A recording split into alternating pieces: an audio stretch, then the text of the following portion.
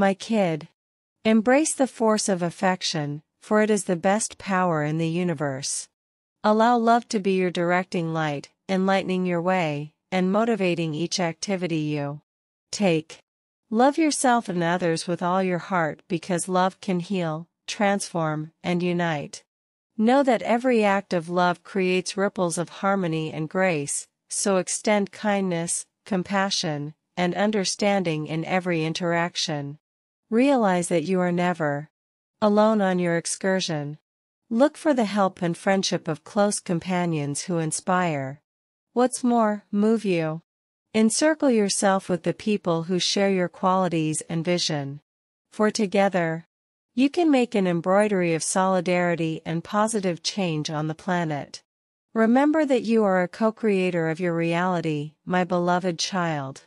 Through your viewpoints, words, and activities, you have the ability to shape your encounters, develop an outlook of overflow, appreciation, also, plausibility. Have confidence in the endless potential that lives inside you, and watches wonders unfurl in your life. Trust in my heavenly arrangement for you, in any event, when the way forward appears to be hazy.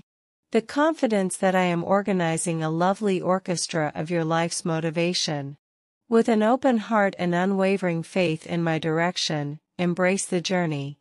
Each step you take, each experience you experience, is a venturing stone driving you nearer to your most noteworthy predetermination. My kid, you are profoundly adored unfathomable.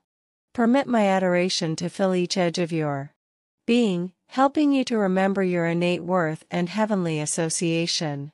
Stroll with certainty, realizing that you are upheld, secured, and directed in each second.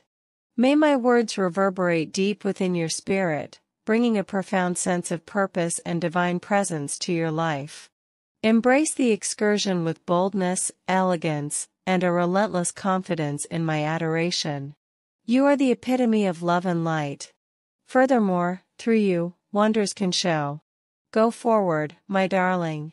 Youngster, and focus your brilliant light upon the world. Type 666 assuming you feel this.